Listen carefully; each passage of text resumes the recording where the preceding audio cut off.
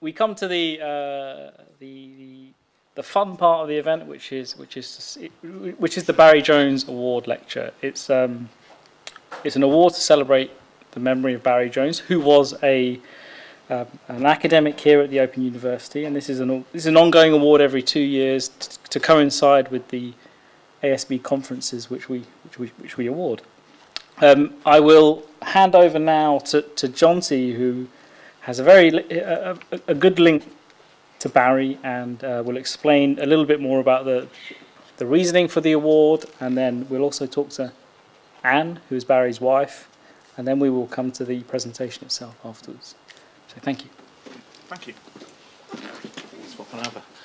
Brilliant. Thank you very much. It's lovely to see so many people here and so many familiar faces. I was Barry's postdoc going back a decade ago, so I started at the OU in 2006, the day after Barry officially retired back in the days when you had to retire when you hit a certain age or else. It was kind of mandated. So he got me as a postdoc the day after he officially retired. And I was incredibly fortunate to work with Barry and work for Barry. He was a fabulous mentor. And as a researcher, he was a very, very gifted researcher, but he did a lot more than that. And I think that's what's fundamental to why we've put together the idea of an award in his memory. So Barry was a gifted researcher, but he was also a fabulous communicator of science, and he viewed it as being very important to not just do research, but to get the message out there, to inspire the next generation, and to make collaborations at work. He was an integral part of getting the Astrobiology Society of Britain up and running, getting the conferences going. And like I say, he was a brilliant communicator, a very gifted person, and a fabulous mentor.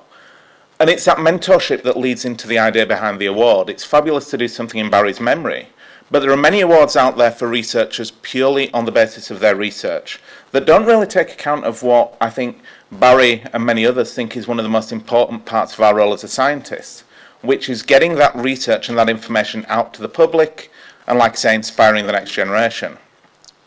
With that in mind, to honour Barry's memory, we came up with the idea of the Barry Jones Award and the associated public lecture, which would reward gifted researchers who also went above and beyond in their efforts to communicate with the wider public, to inspire the next generation, and really get people involved with what they were passionate about. And you're going to see a talk directly on, along those lines a little bit later on. I think that's probably enough from me. So what I'd like to do now is invite Barry's wife, Anne, to the stage to say a few more words about Barry and tell you all about it. Thank you. Thank you very much.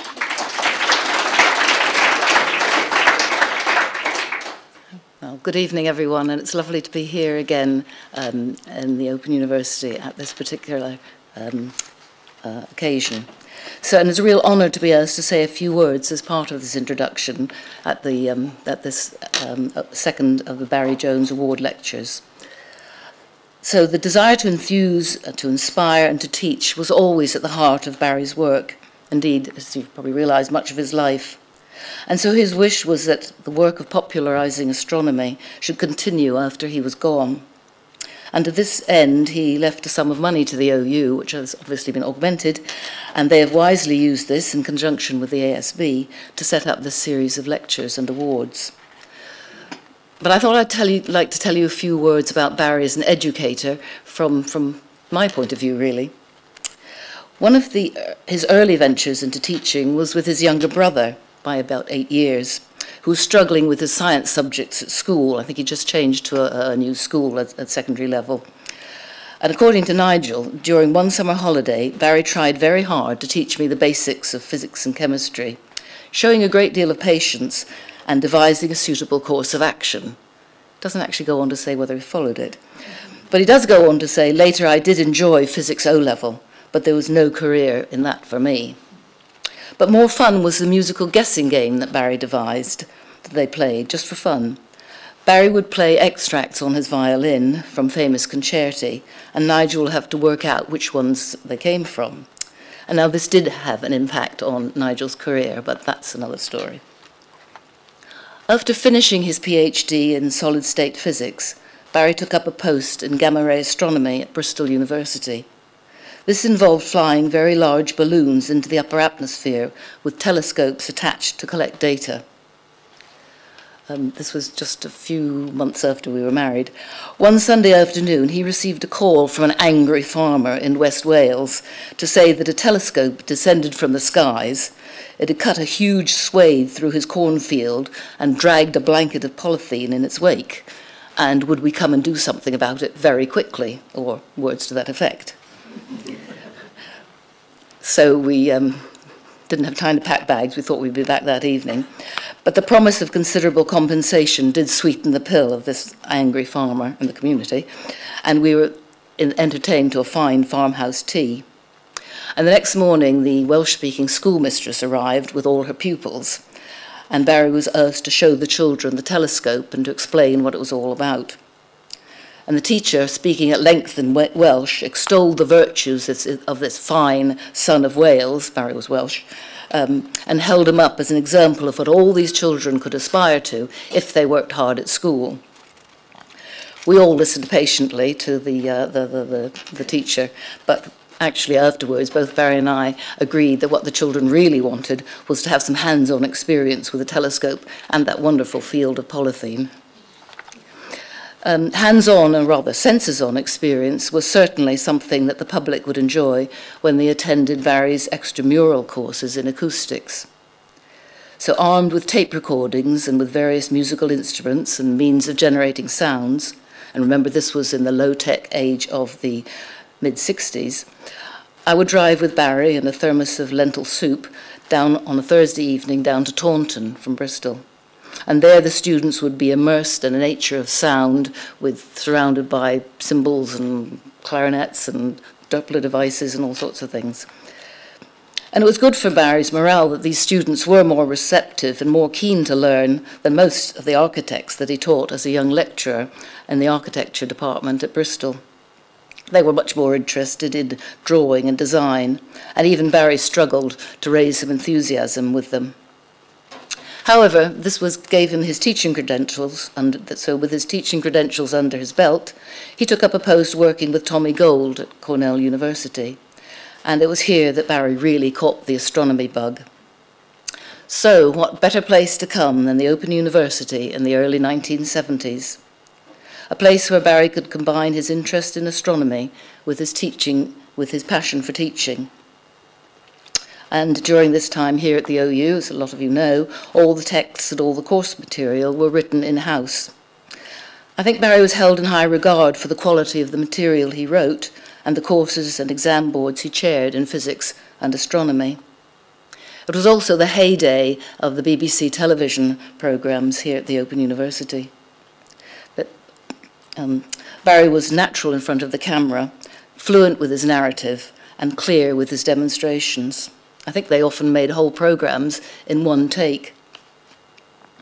At this time, he started writing books on the solar system and life beyond the solar system, as well as co-authoring a fully illustrated book with Bob Lambourne and Dave Rothery called Images of the Cosmos, which sadly I don't think is used anymore, but it's still a good picture book. Summer schools in those days were an integral part of many of the courses, and it was here that Barry was able to teach and inspire his students face to face. Feedback suggests that he did this rather well, although I gather a certain amount of teaching and learning went on in the bar and on the dance floor at the end of the day. Barry was one of the pioneer researchers into exoplanets. I think, but I haven't, haven't got my facts actually to hand. I think he came on, in on the scene when there were only a handful of these planets identified, and so every single new one was a really exciting discovery probably remember from last year, there are many, many that have been discovered and probably many, many, many more. One of the talks that he gave to schools and ast astronomical societies was on the subject of searching for life beyond the solar system.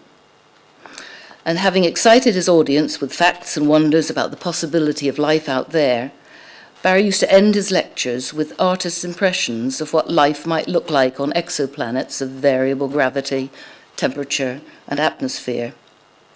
So images of marine type animals floating in a thick atmosphere or low squat creatures lumbering in low squat vegetation would appear on the screen. And these would send the audience away with the exciting, yet disturbing possibility that there might yet be something behind the myth of the little green men.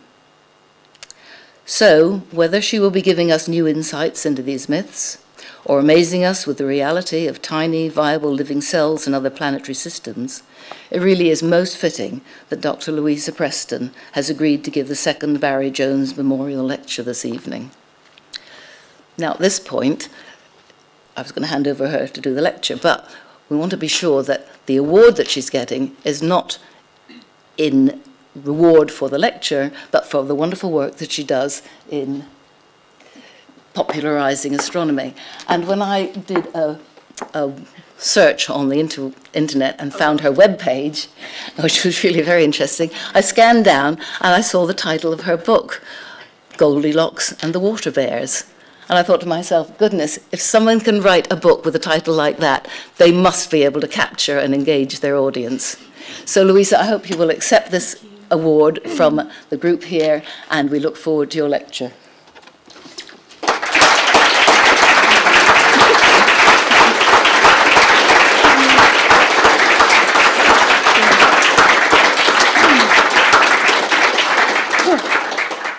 There was ever a time to feel imposter syndrome, just so you all know, that is right this second. Um, thank you so much. It is an absolute honour to be receiving this. I'm not going to say any more than that because I get the impression from everyone who's told me about Barry that he wouldn't want me to and he'd want me to just shut up and talk about the science. So, this is an outreach talk that I do give quite a few times, um, but I do know that so many of you are at the conference as well, so bear with me, and if I get anything wrong, try and heckle at the end. Just wait till the end. So I'm going to talk to you about our search for life in the cosmos. Now, it's probably the only wordy slide, really. And I do say this is what astrobiology is, the proper definition for astrobiology. But I think what's more interesting is to talk about how I view it, what I do in astrobiology, and what many academics in the UK are doing as well. And we're trying to answer three main questions. The first one is, where are we from? So a number of us here are working on trying to figure out if life arose in warm little ponds on the surface of early Earth. Did, they, did life arise around black smoker vents on the, surf, uh, the deep sea? Did it come in as prebiotic molecules on meteorites? Did it come in fully formed on meteorites, as in panspermia? No, just so we all know. No, it didn't happen. We're also trying to answer the questions are we alone? A real X Files SETI kind of question. We're trying to figure out what life is out there, what life might look like. Is it intelligent? How would we communicate with it? Would it want to even communicate with us? Are we even intelligent enough to have that conversation? and how are we going to do this? We're also looking at where we're going, which is something we talk about a lot. And it's all the space missions that we're trying to plan, both from orbit, looking for life, and also on the ground. We're also thinking about the future of humanity. How are we going to evolve and change in the future? But also, when are we going to leave Earth? When are we going to go and live on other planets, on other moons, are we going to find ourselves in a Star Trek future, and how is that going to happen? And there's real science being done to do that. Now, I stole this quote from a colleague of mine who's probably smiling to himself because he knows. And it says that astrobiology is a science that's yet to demonstrate its subject matter even exists, which basically means when you work in astrobiology, no one can ever prove you wrong. So it's the perfect science to do. Geology arose to explain the rocks and the minerals and how the earth works microbiology to explain the cells that people are seeing down microscopes. But we haven't actually proven that our subject matter and our theories are actually right yet, which, to be honest, is half the fun of doing it. Now, we, we actually spoke earlier on about what is life, so don't worry, Terry, you're not going to hate this slide. When we try and think about finding life elsewhere, we know what life is. We feel it deep inside. I know that these chairs are not alive, but that most of you, if you're awake, are. But that doesn't really help us when we're searching for life. So we can think about what does life actually do? And there are a number of things that we observe nearly all living organisms to do. They eat in one form or another, and if what goes in, what comes out, they excrete.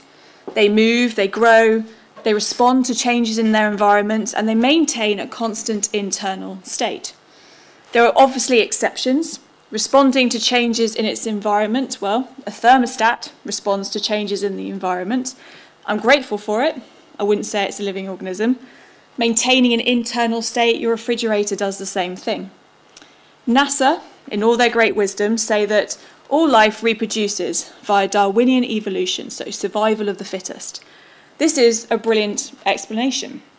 But if you transpose it into space science and going to another world, do we want to get to Mars, see an object that may be living, such as a rock, and sit and wait for it to evolve?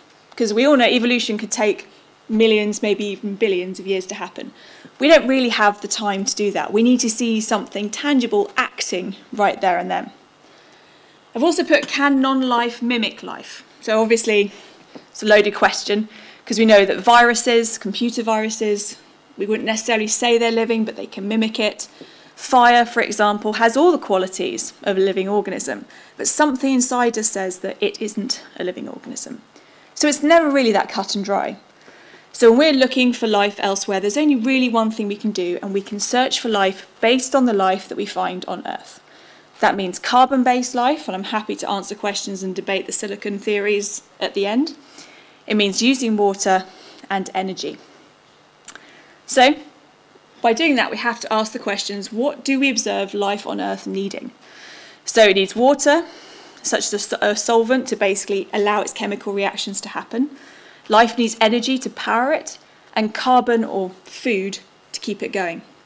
I've thrown in two more things that life needs, and as a geologist, this always comes up rock. Life needs some sort of a solid surface to originally get going on. Even if it got going in water, that water has to sit on something. We also think that life needs a world with an atmosphere that can protect it from solar radiation, from incoming projectiles, and can keep the surface of that world at the right pressure so that water itself can be stable. And we just happen on planet Earth to be in the perfect place for that to happen. And we call this the Goldilocks zone, which I know I've coined and mentioned too many times, um, but properly the habitable, habitable zone. And it's found pretty much with Earth in the centre, Mars is right on the edge, and Venus is just outside. Now, in a very basic way, we could split the solar system in half looking at a habitable zone to say that any life we might be looking at, regardless of solar system, if it's inside of this habitable zone, is going to be hotter. The planet or the moon is going to be hotter. That means this world is not going to have liquid water. It will have evaporated. So it'll be a dry world, a dry, hot world. You go further out and further away, the water will be frozen. So therefore, it's going to be a cold world. Still very dry, but cold. You've got to try and think about the different types of life that could survive outside of this perfect spot that the Earth is in. So, in this perfect Goldilocks zone, we have two habitable worlds, and we now know that Mars technically was habitable thanks to us finding carbon based compounds on it. And there are actually two inhabited worlds, so Earth and Mars. One is inhabited with intelligent beings, the other one is inhabited with robots. I'll leave it to you to say which one you think might be which. But our traditional view of the habitable zone, of the Goldilocks zone, is changing. It's not just this single band in a solar system where anything is possible. There are many habitable zones throughout a solar system, and many of those are found to be circling the planets themselves. And so once we started to see all these different things, we realized that actually looking out towards the gas giants was a really good place to look. And actually, the gas giants themselves, they're not that interesting, at least not in terms of astrobiology. But the moons around them are proving to be really exciting. So I've just chosen ones that either I find really exciting or the press and the media and the world seem to find exciting as well. So the top one is Enceladus, one of the moons of Saturn. Enceladus, in the last couple of years, has proven itself to basically overtake Titan in my estimations, because Titan's always been my favourite. Enceladus is an ice covered world that has jets exploding from its south pole. These jets are about the size of the distance of London to Paris. That's how far out they go. They they're flying out icy particles, water, carbon based molecules. Lots of this rains back down onto Enceladus as snow, and the rest of it actually goes to form the E ring of Saturn. Now, this tells us some major crucial things about Enceladus. One, that there is an ocean down there because there is water being erupted. Two, that there is energy because the eruptions have to be powered by something. And then when Cassini flew through the jets and it found these carbon molecules such as carbon dioxide and methane, we now know that there are carbon based organic molecules there too. So the three main things needed for life in our very basic, I appreciate uh, understanding, exist on Enceladus. The next world that's really interesting is Titan. I have always said that if I was ever going to get stranded somewhere in the solar system, Titan was where I wanted to end up. Because it actually reminds us a lot of the Earth. It has lakes and seas, it has weather, it has mountains, it has dunes. It's an adventurous paradise. But everything is made from a slightly different chemistry to that which we're used to. The lakes and seas are not made of water, they're made of liquid hydrocarbons such as methane and ethane. It rains like a tarry smog. The dunes are made up of bits of broken ice and water, not necessarily silicate rocks like we have on the Earth. The reason I think Titan's so awesome is because it has a really thick atmosphere. So if you were going to get stranded there, you couldn't breathe, don't get excited, but you could take a pretty good run up, strap on a pair of wings, and fly quite easily. So it's worth it, just you suffocate, but it'd be worth it just to have a go. Instead of looking at Saturn, we can also look at Jupiter. Now, Jupiter's moons are all actually proving to be very interesting in different ways. But the most prominent one that everyone looks at is Europa. There are missions being put forward by NASA right now to go and visit Europa next. Now, Europa also has this thick, icy shell, and underneath, a salty ocean. This is just a cartoon effect image. We don't know if there are hot springs or hydrothermal vents on its base. But it makes sense because that's what we find on the Earth. So Europa could be somewhere where we have an entire biosphere hidden underneath the ice. We just need to figure out a way to get there. We do know that there have been the odd jet of material seen to explode from the surface of Europa. So who knows what other secrets this little moon is hiding. But to live on any of these worlds, this isn't going to be the kind of life that's like us. We are weak, fragile, squishy things. We cannot survive pretty much anything. But there are many organisms that can. We call these the extremophiles, literally meaning extreme lovers. We find these all over the earth. Oh, go back. I didn't press anything. it does that every time. We go through all the different environments on the earth and we can find these extremophiles hiding in some of the most dangerous and extreme ones. They're living in dry and wet, hot and cold, icy, salty areas, such as the hot springs around Yellowstone, acidic rivers at Rio Tinto, in Antarctica, and right beneath your feet where there's no oxygen and no light, but life is thriving. And they're the kind of organisms that could survive on these different worlds. Now, as you got a pre-glimpse for, my favourite extremophile, that I, I think I go on about too much, but I'm going to do it again, is the water bear, or the tardigrade. And this is the kind of organism that could survive on any of the worlds in our solar system, as far as we're starting to understand it. It's actually an animal it's um, about the size of a full stop if you uh, dot your page. Uh, this is a video taken just down a light microscope that we took the other day. Um, cute or not cute? Yes. I find it's like Marmite. Some people find it really disgusting and they don't really get it because you can see straight through.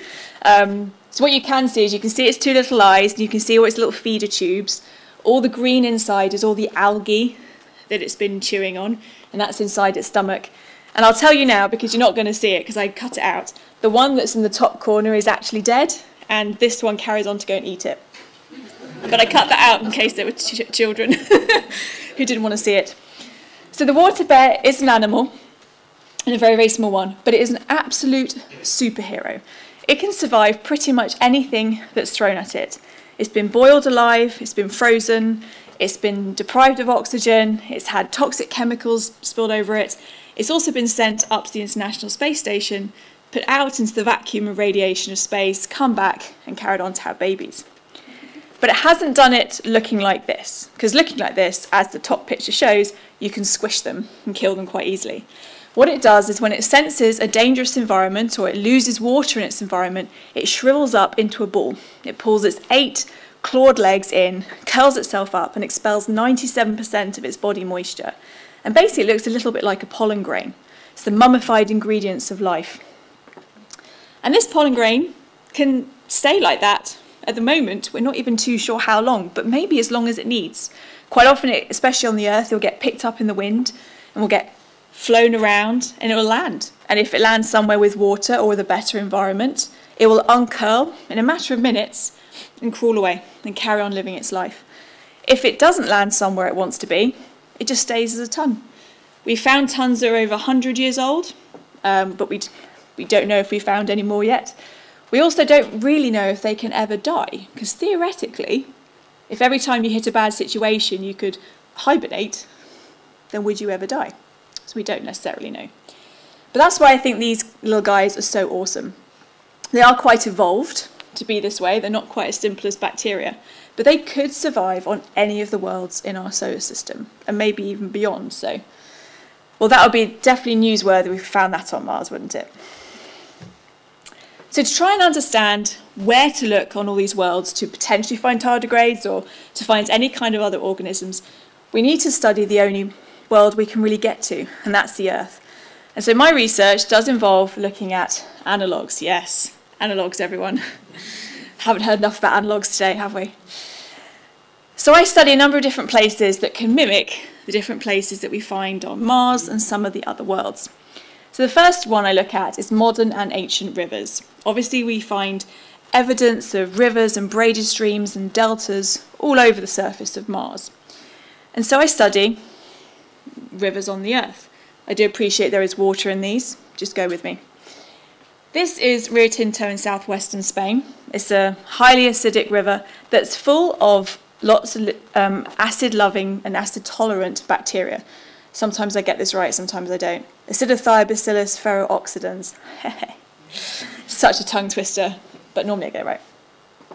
So when we study the water at Rio Tinto, we find these organisms inside it. When we look back and we step back from the river, we find these river terraces. And these river terraces are over two million years old. When we break into these rocks, we find these black, know, you can see, these sort of black wiggly patterns preserved inside them. And we can analyse them using lots of different techniques, and we can see that they are related as the great, great, great, great times, however many ancestors of the organisms that are currently living in the water. And so basically, this is how we are trying to find life on Mars. We're finding a rock that's colonized with something. You can find the evidence of this colonization through holes, through mineralized and fossilized organisms, through gaps, through, through so, so many sort of textures that would imply to you there might be life in there. And then we analyze it using a range of tools and technologies such as Raman or infrared spectroscopy. And when we do that, it will show that there's, in my case anyway, fatty acids, proteins, DNA, sugars, all inside these rocks, which means we go from having an interesting rock with something wiggly in it to actually having evidence that this was once a living organism. So the idea is could we go to these ancient rivers on Mars, break open the rocks, find something similar, and using these tools identify those biosignatures? So I don't just look at ancient rivers, I also study hot springs and geysers. Thankfully, the icy moons are proving to be really exciting in this sense, so they, we can find some good analogues for them.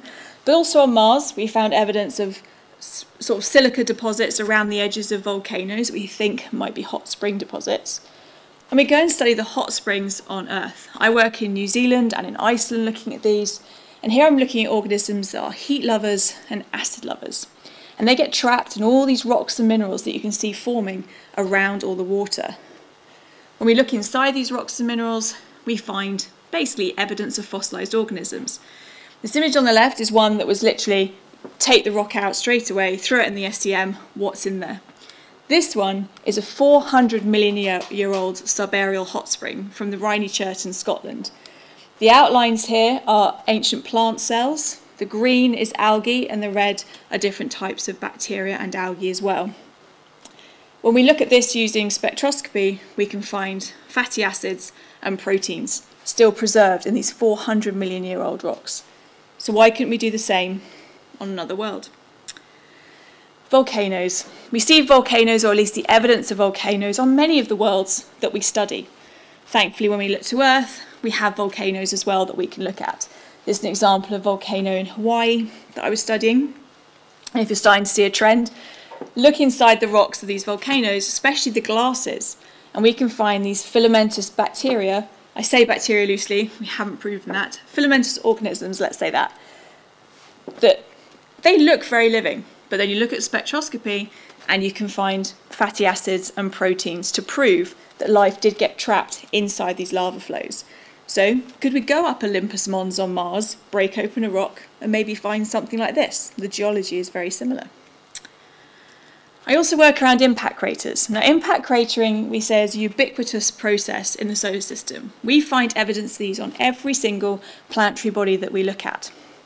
They've got a really bad reputation, thanks to the poor dinosaurs, but actually, impact craters create habitats. The sheer power of an asteroid or meteor hitting a solid planetary surface creates heat. It also fractures the rock, creating space. And this space and heat mean that water can circulate, forming a geothermal system. And suddenly you've got quite a nice little environment where life can worm its way in. And when we study many impact craters on the Earth, we find life currently living in the rocks or trapped inside minerals from when they were there before.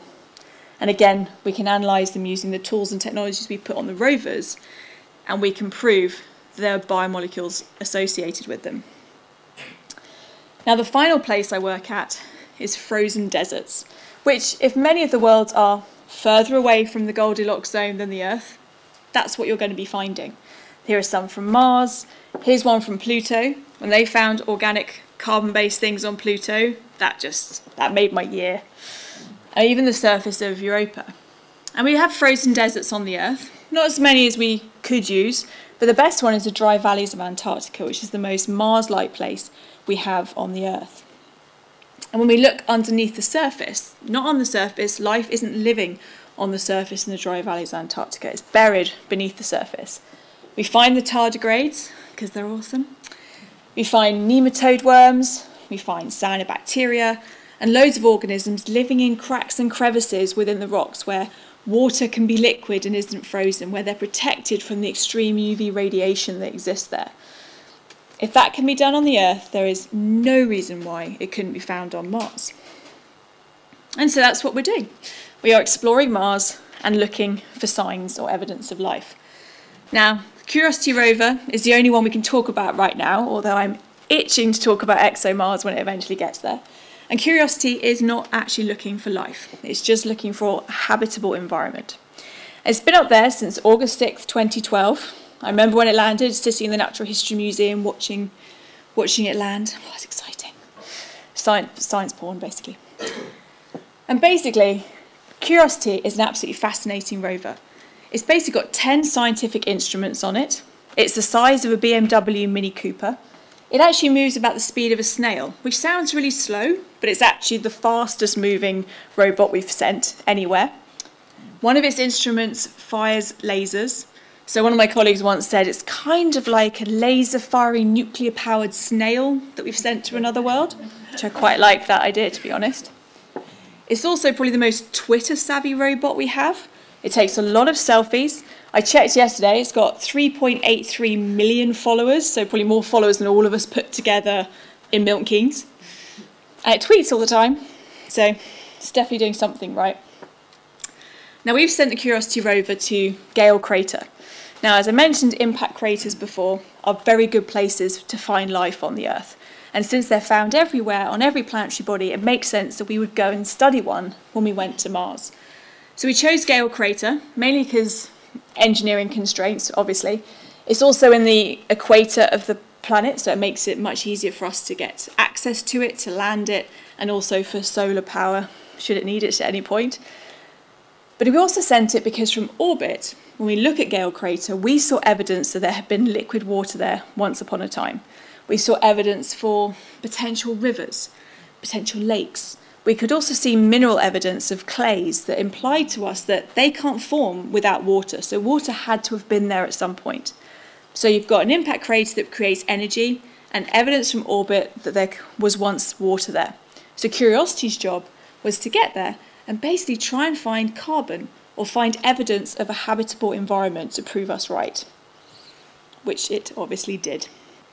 Now, it sent back an amazing array of images, which we can all go through in detail if you want. But the most interesting are one of the first images that came back, which is in the middle, that proved that there were lakes, because this was the edge of a stream.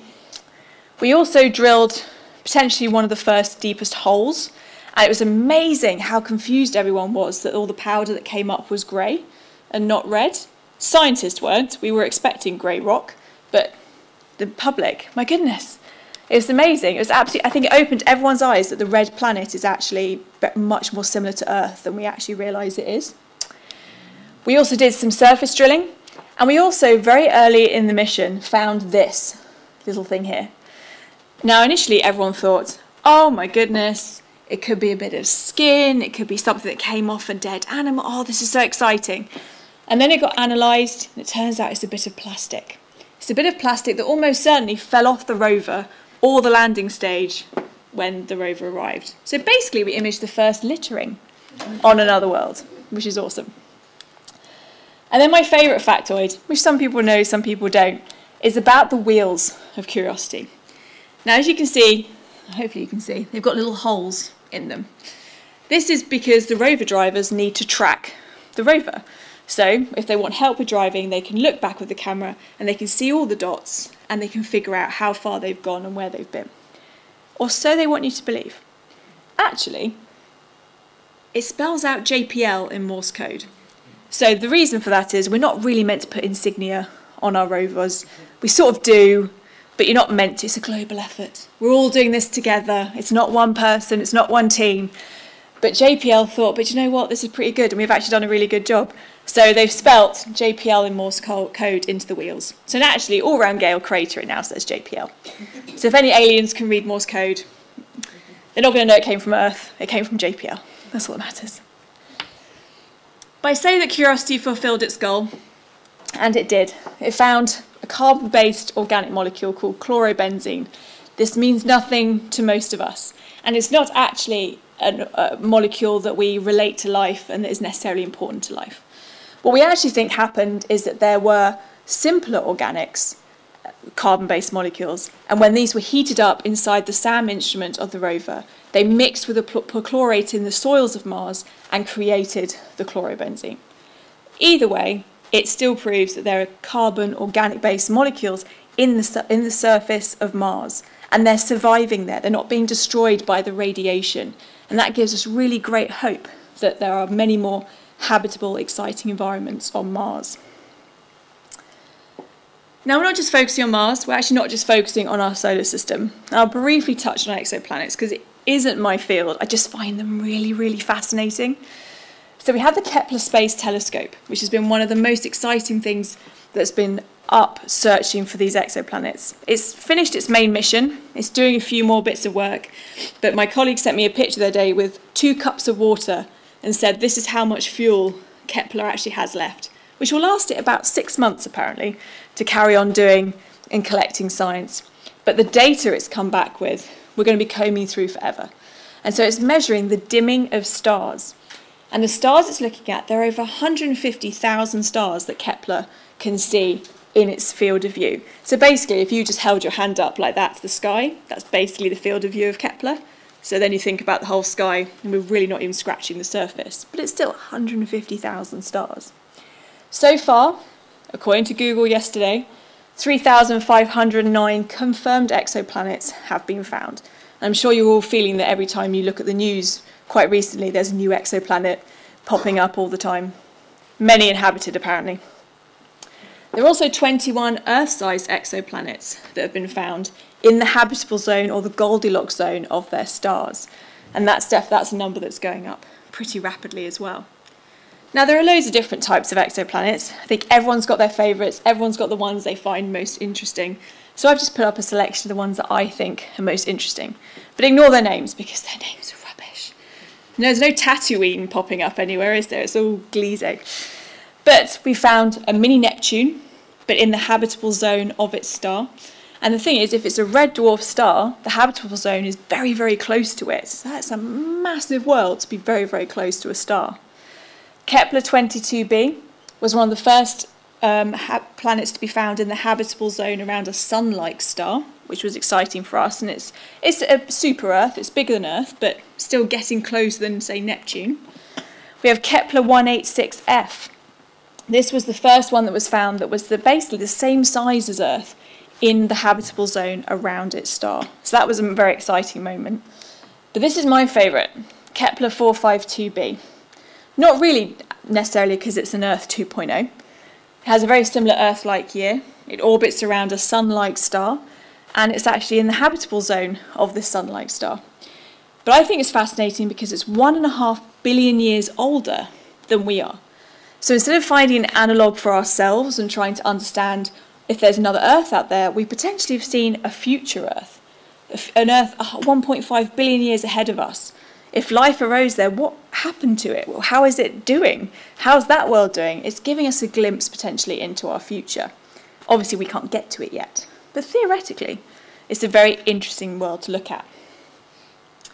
We've had two extremely famous exoplanet moments the TRAPPIST system, which I'm not going to talk about necessarily, mainly because I recently met with the guy who found Proxima Centauri b, and he was so fascinating that I've just kind of taken this one and talk about this one now. So Proxima Centauri b is a roughly Earth-mass planet orbiting Proxima Centauri, our nearest star, and within its habitable zone, and it's only around 4.2 light years away. So in general, when everyone got really excited about this one, it wasn't really because of what it could do for us. It was more just because it was so close and within reach. And Stephen Hawking and his, um, what's it called? Light shot, tiny shot? Star shots, I knew I was going wrong. His Starshot project theoretically could get there in 20 to 30 years. So that makes it a really, really appealing world. But we like to sort of, you know, be a bit pessimistic about ideas. So when everyone was getting excited about this, the planetary science community turned around and said, oh, well, hang on, let's just look at some of the issues with actually finding potential life on this world. It orbits around a red dwarf star. These are really, really dangerous active stars. They're very cold, but they have very violent outbursts. And because of them being very cold, any world to be in a habitable area and to be able to have water on it would have to be very close to that star. And being that close to a star that's violently erupting all the time is very, very dangerous in terms of radiation. Apparently, though, this star has quietened down, I got told, I got informed last week, so potentially it would be actually okay to be there. Any world that close to their star is going to be tidally locked. So one side is always going to face the star, and one side is always going to face away. That isn't necessarily a deal breaker for life, but we don't have any examples of how that might necessarily work there's actually a lot of research going into how it might work right now because we're quite fascinated with the potential of it. Everyone said that water could be stable on it. Well, theoretically, it's in the habitable zone, yes, but does water actually exist on it? We don't know. And, all, and that relies on this world having an atmosphere, which we haven't necessarily, although apparently there's an embargoed bit of information that's coming out soon, but uh, in the purposes of right now, we don't know if there's an atmosphere around this world. And we need there to be an atmosphere to protect this potential water, to allow it to be stable, to protect the world and any life on it as well. So I'll leave you with this slide, because I think it's probably one of the most important ones, to focus on all the missions that are actually happening right now that we can follow and pay attention to. I can't not mention Cassini, because in about two days, Cassini's going to die. It's on its final run. Um, so definitely keep following that on Twitter and online. It's going to be really, really sad, but actually brilliant because Cassini has done so much for us. But another mission that's actually ending this year is Dawn. Dawn is currently in the asteroid belt. It went to look at Vesta and did great work there, and it's now in the orbit around the dwarf planet Ceres. And on there has actually found carbon-based organ organic molecules as well. So the astrobiologists were very excited about this. But, but they don't really know what to do with it. It might have a year's left of power, we're not too sure. And so they're trying to decide right now whether they're going to do a quick slingshot and send it to another asteroid or just let it die orbiting around Dawn and just forever become a new satellite of, of Dawn, of Ceres, a new satellite of Ceres. So at least we're not crashing it into it, but we might just be creating a new planetary system. Very strange. Juno fantastic mission going around Jupiter, sending back some absolutely incredible images. One I have as the backdrop on my phone at the moment. We've got our trace gas orbiter, which is currently doing good stuff, although no one's telling us anything about it yet, but they will do. Um, and then we've got to keep our eyes open for the ExoMars rovers from both us and the Europeans and the Russians, but also the Americans as well. And then finally, not to forget, New Horizons. So New Horizons went to Pluto, and just opened our eyes to this absolutely incredible world. But now it's even going further into the Kuiper Belt. So it's going to be incredible. And that's going to get there in 2019. So you only have to wait a year to find that out. And then finally, the Voyagers. Their 40 year anniversary is this year. They're still going and they're still sending back data. So it's really good to pay attention to all of that. So keep your eyes open on all these missions. I'm sure much exciting results are going to be coming out from them soon. And breathe. Done.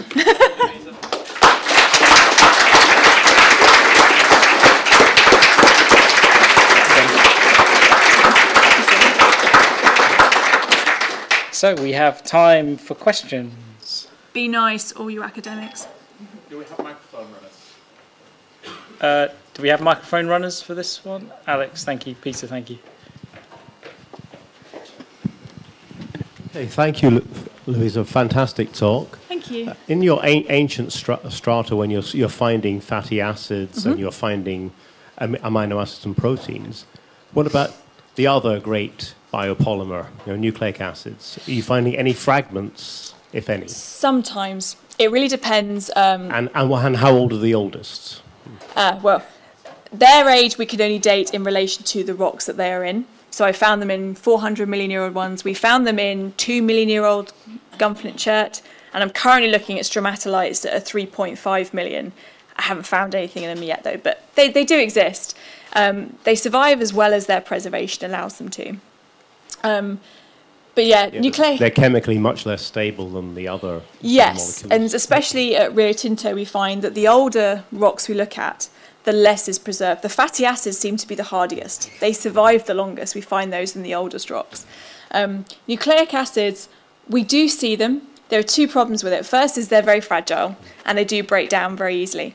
The second is um, when we use the spectroscopy method that I use, the minerals get in the way of where the nucleic acids are we can subtract the mineral spectra out to try and see the nucleic acids, but it almost looks like we're introducing artifacts. It's, it's not a, a good result necessarily, and we don't like to sort of highlight it. But if you look at carbonates, for example, carbonates don't hit where the nucleic acids do. So quite often when I study caves and I'm looking at carbonates, suddenly I'm like, look at all my DNA, because I can see it then. Um, so that's basically it. They're probably there, they're just harder to find.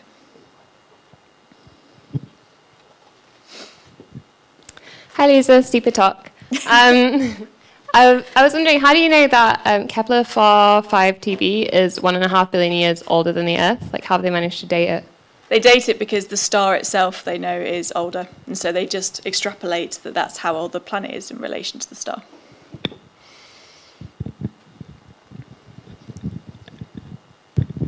Hi, um, thanks for the lecture. Um, I'm very interested in your tardigrade pets there. Yay! Um, now, my interest in that is because you don't know how long that they can actually live because we've not found that out. But um, how from how much history do we know about their um, evolutionary history? Do you know of their uh, th- what their relation is, or if there's anything else that you found in the fossil record? Not not a huge amount. I haven't heard of people finding fossilized tardigrades anywhere. Although one experiment we're thinking of doing is fossilizing some um, to see what happens.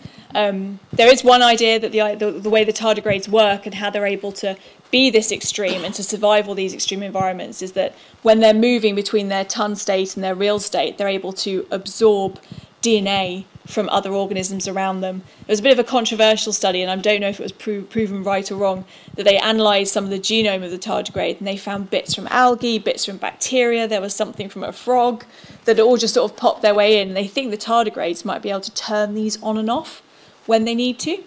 Um, but again, we don't know. Tardigrade research is skyrocketing right now because there is so much interesting about them. They're so able to adapt and they're so clever that it might be able to really help medicine. It might be able to help crop generation on Earth. And if you get space, it might just be really useful for us. But they're kind of a mystery at the moment.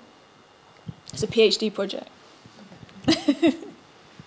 Hi. Um, just to also try and answer that question. Oh, a good. You know bit. the answer. Yeah. Um, the, the University of Edinburgh, so not not not in the School of Physics, but um, over in biology, they have disproven that. So They did. I mean, tardigrades, fascinating creatures, They but have like they a small percentage of alien alien, don't take that literally, DNA, but not the massive amount that they came up with. Um, when we spoke to the guy recently, he seemed very dismissive of the whole thing, but of course he was the one who published the paper discrediting the whole thing, so he would be taking that stance. Fair. David?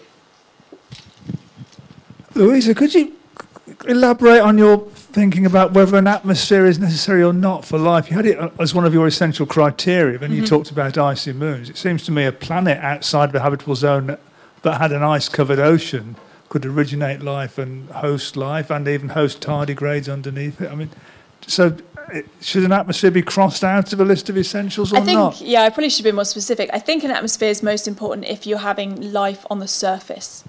Um, if it's underneath ice, then ice is almost effectively doing the job of an atmosphere. But an, an atmosphere such as ours protects us from the radiation, it protects us from incoming projectiles, it equalises the pressure on the surface to allow liquid water to be stable, for life to be able to, at, our stage, breathe, but it's not necessarily for that for simpler organisms earlier on in Earth's history. But I think if you're on the surface, you need protection from something. You need something to protect you from the radiations, and that's what an atmosphere is proving to be very good at. If they're under the surface, then I think we can maybe just wave at the atmosphere. As I say, it's not a huge criteria. It's one of those criteria that I think is very useful in many different ways, especially to help life evolve and to become multicellular. It's going to need that. But maybe right at the beginning, we can still just stick with our three basic carbon, water, energy. But again, it is very base, simple. Another quick question?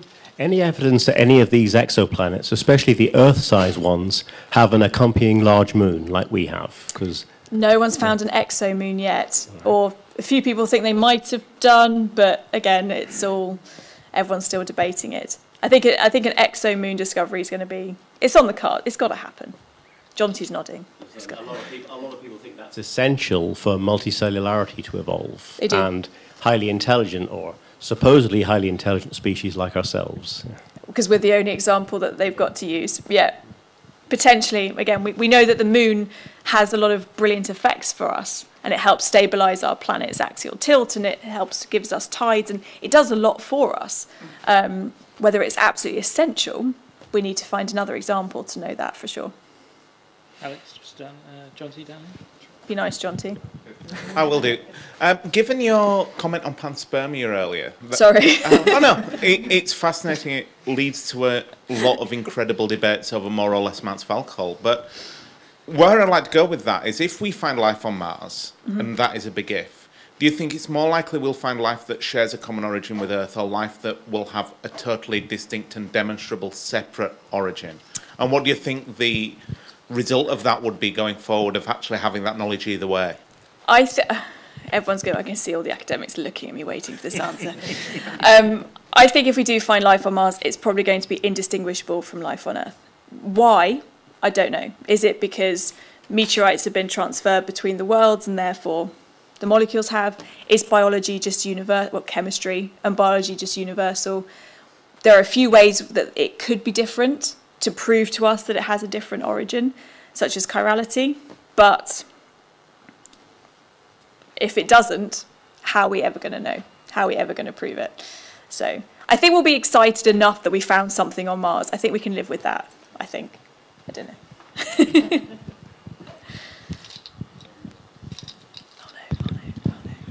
Thank you very much for that, Louisa. Um, You've been Googling. Uh, What are look- you Googling? says, uh, I'm sorry? You look at your phone. I said, You've Googled something. What have I said? No, no, I haven't. Uh, what, what, what it is actually that you said at the right at the beginning, you said this word silicon. So, c- are you able to elaborate anything on it, please? Yes, it's, it's just because obviously when we're looking for life on other worlds, we, we look for carbon-based life because it's the only example that we have. And we have many reasons to show that carbon is a very, very good element to be used in life's processes and to build life itself.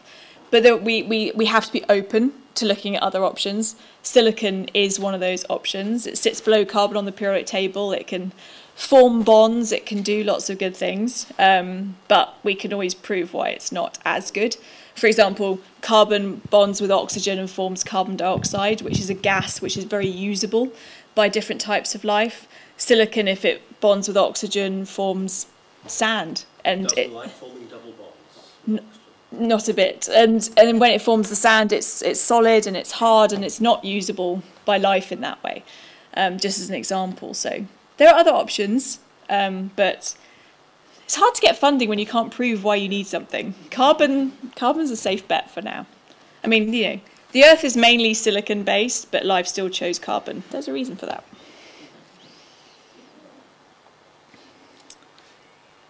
There's one another one from John C.